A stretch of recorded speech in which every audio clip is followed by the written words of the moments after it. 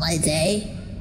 Yes, explain your day, Novitiate. Your record is hot. Your veins remain concealed. Your feet remain thin. Uh, by now, all Vox Hailers are expected to have had their feet expand by a size exceeding your current circumference. The veins protrude from their legs like thick cords of binding, and their backs crooked by the sacred weight of the humanly Voxcaster. Tell me, Novitiate, have you been hailing the Emperor's words? Sitting down?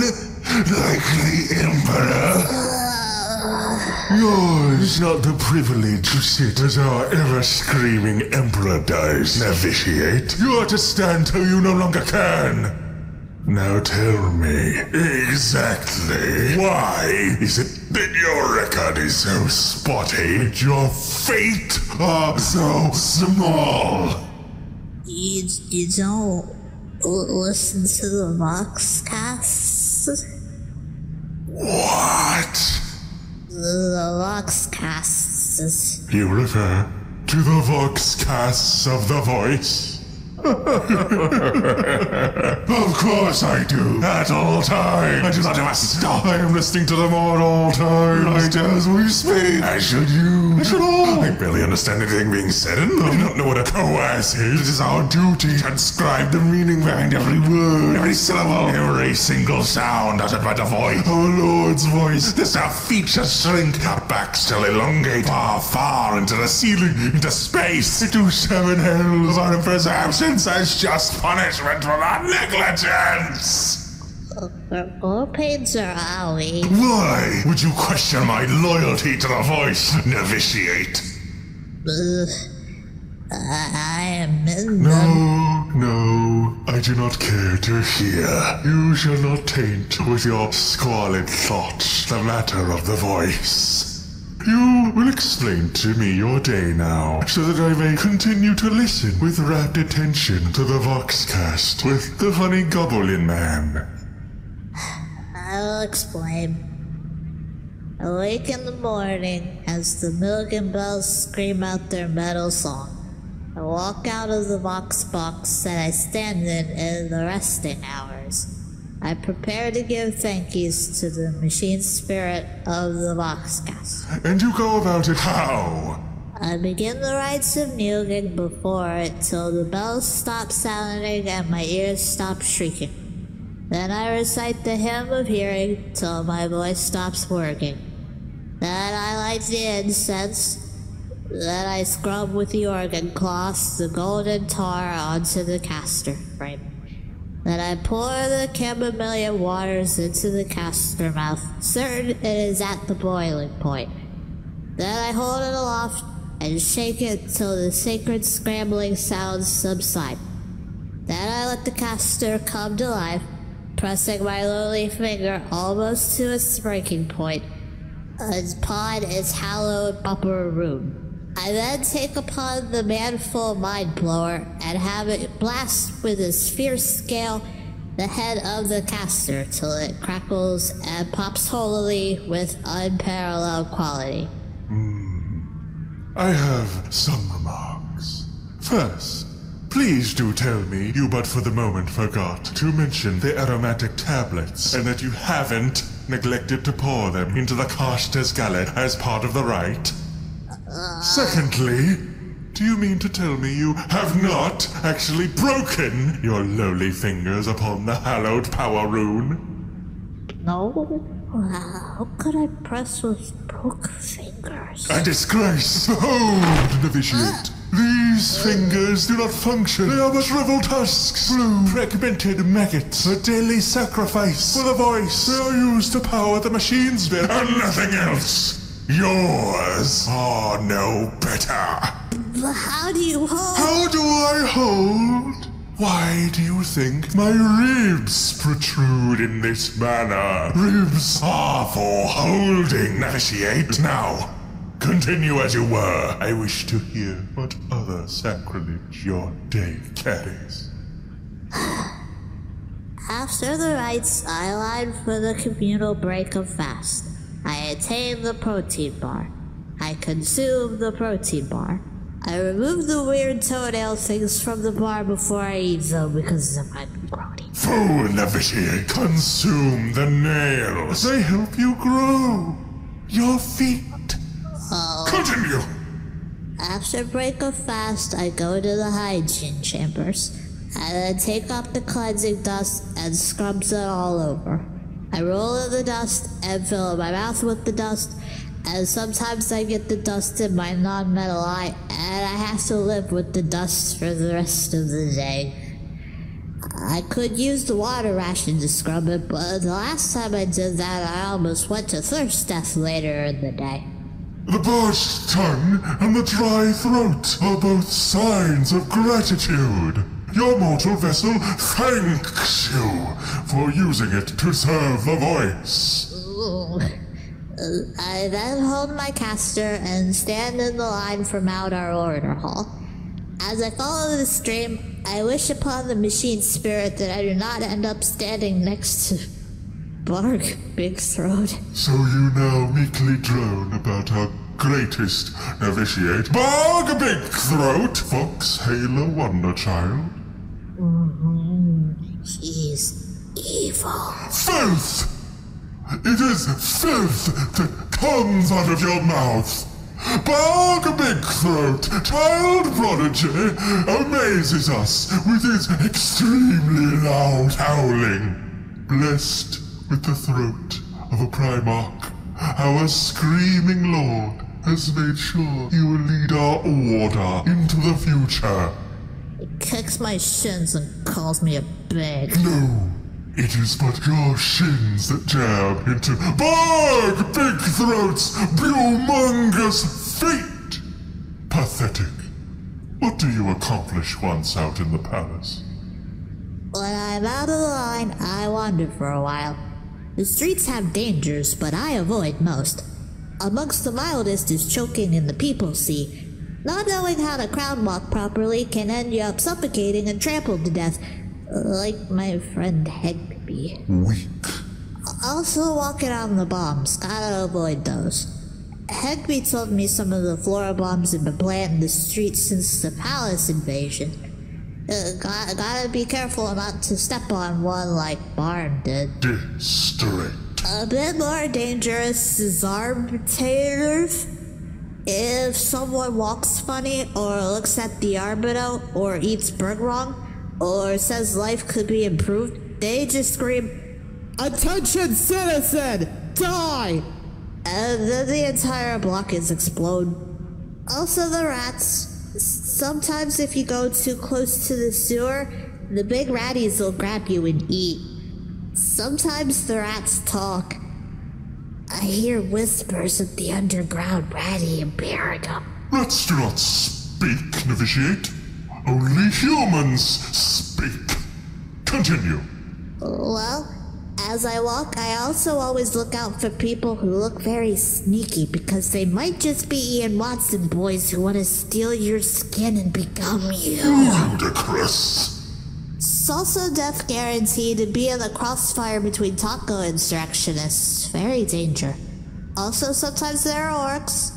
They're always put away pretty quick, but one time my friend Bogway was grabbed by one and thrown into a plasma conduit. Quiet, novitiate.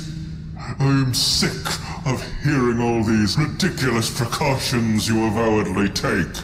If you did not think so much, perhaps you would have lived a life as swollen and vicarious as that of Bog Big Throat, who I just got the report uh, died in a tragic rat accident. Oh. Rip.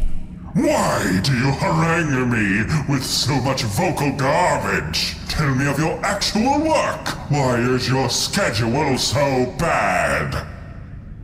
Okay. So, I hop towards the gate. The gate? I soon end up at the big, big queue. The pilgrim one. The, the one into the gate. The gate? Yeah, that's what I said.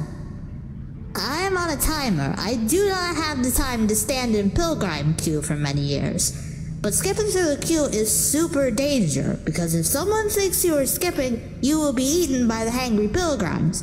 So I roll out like Action Boy, camouflage under stones, brave the sewers and run from the raddies, pretend to be extremely important so people move out of the way, fall down and pretend die in the forwards moving way. It, it all varies day to day, but the goal is just to get to gate and not get ate. Why do this? What purpose do you have at the front of the gate? Okay, so I slither slather my way to the front and done it die. Then comes the cheesy part. You begin hailing, yes, yes. No, I walk up the stairs. Do not spit this liar's threat at me, Snake. You do not pass into the Emperor's personal realm. No, I do. No, you do not. I travel the stairways towards the big gate. Sometimes other pilgrims try and follow, but are made to dust by the picky guardies. I travel the big, big steps, and it is very exercising, but it also feels good due to the endorphins. I just gotta make sure I drink my waters and eat the pocket bergs on the way. Stop. Stop. No. You have no proof of this. It is but drivel. Drivel! If I am but drivel, then how do you explain these? These are big stairwalk legs, sir. Why is the meat on your leg so bloated? What disease have you brought? It's muscles. Something you don't have, cause you only ever stand up. This is what I get for standing, sitting, walking, running, and hopping up big stair. This is what I get for rejecting your lacking creed. Blasphemy! Accursed boils! You sully the caster with your functioning fingers! You insult the Emperor with your ass in seat! After I travel up the stairs, the big gate opens for me. I am oft joined by wardens of this ascended province, iridescently gleaming in luminosity, shone like Chiliad suns, reflecting the soul enriching facts of the Man Emperor's million golden hues.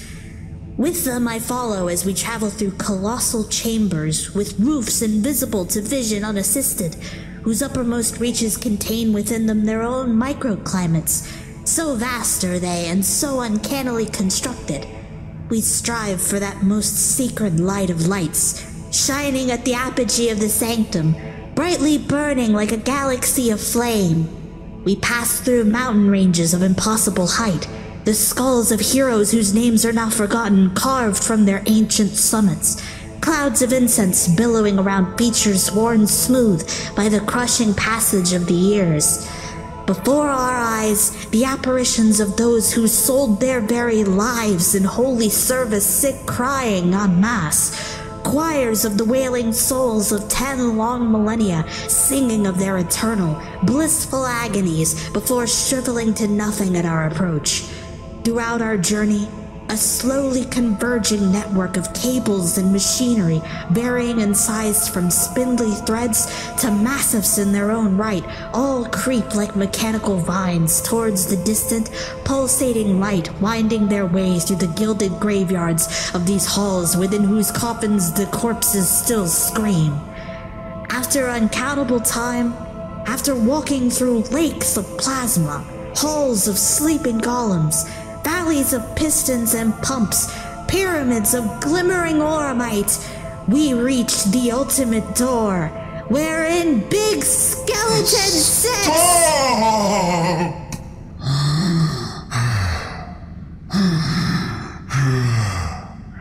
You dare! You dare plant the sacrilegious notion that you could enter the Emperor's throne room? No. No! You have not. You cannot. And the very concept of the idea must be eradicated from existence. You shall not only be punished, you shall not only be killed, you shall be censored. Okay? There! Your mouth shut by the sanctified silvered tape.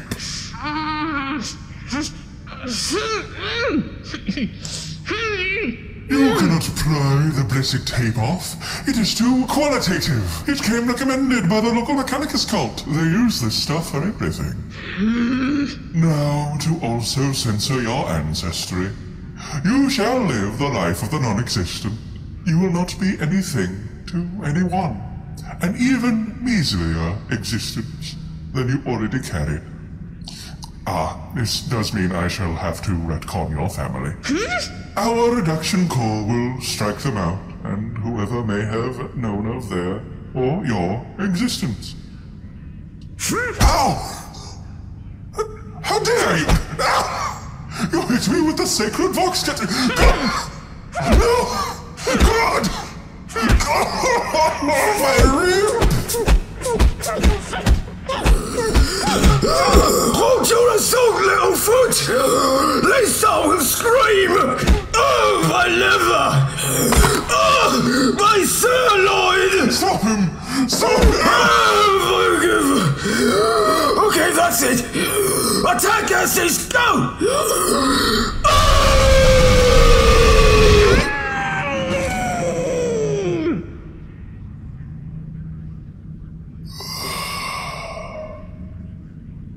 Excellent work, uh, sailor. Is he to die? His, his hearing is compromised.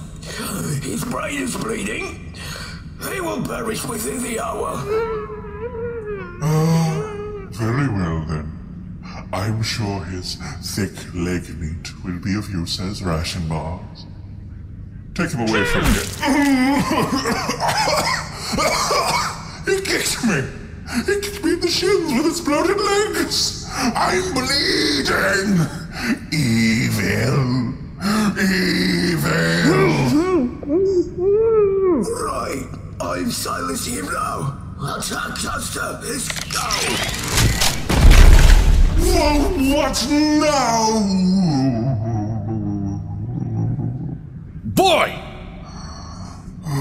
I would scream with contempt at you for your lateness to the recording of the new Voxcast, but you seem to have blood gushing from out your ears. Why is your mouth covered?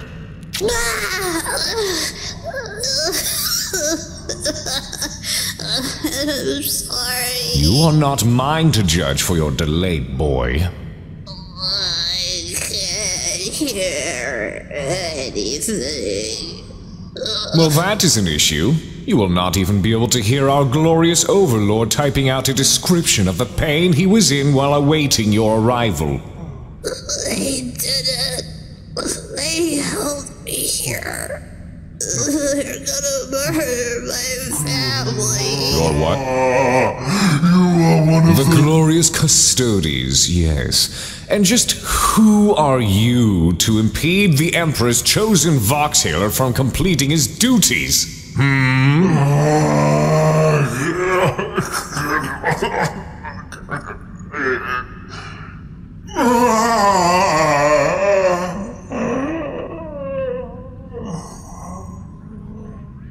What? Oh, he bled out. Was that your work, boy? Did you kick his horrid leg veins open? Impressive. How fortunate my chiseled form was here to arouse his demise. Dare I say, a collaborative effort. Nevertheless, come along, boy, before you suffer the same fate. We're moving you into the sanctum now. What? I said you're moving into the sanctum now! Your tardiness leaves us no other choice. My family. Yes, we're making sure your kin, community, and progenitors are rightfully compensated for their contribution to the betterment of the Imperium.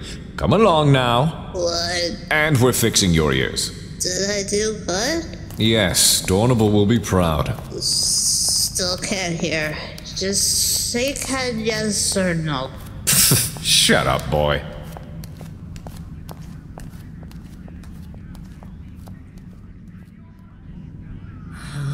okay, so I guess I'm a big, big traitor now. What should I do? Will I be killed? D did anyone else hear this? Sh should I eradicate myself to save me from the inevitable torment? Would anyone even care about me? A, a single individual amongst untold billions in a sea of souls? W- what if they do, though? What, what if I'm some kind of the primary target of the Adeptus Terra now? Sh- should I uh, start a traitor cult? Try to become the threat they potentially see me as? Might be a bit of a tall order for me, though, especially since I'm on Terra. Should I try to escape the planet? Would I even be able to? Probably not. Can I join a gang? Where can I find a gang in the palace? The Arbiters are basically a gang, right? And again, they'll probably be the ones to kill me. What about the Mechanicus cult? Could I join them? Would I need to replace my face with a cyber dong? Wait, what about that rat imperium I heard whispers of coming out of the sewers? Do they recruit non-rats? Could I become a rat? Do I need a fursuit or do I just need big teeth and claws and a nasty tail? How do I how do I get a tail? Just attaching a rope might be considered a bit gauche. Would a mechanical one suffice?